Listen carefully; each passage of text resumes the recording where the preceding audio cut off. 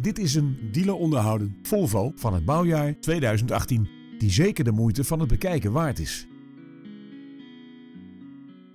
Een 4-cilinder benzinemotor en een automatische transmissie zorgen voor de uitstekende prestaties van deze auto.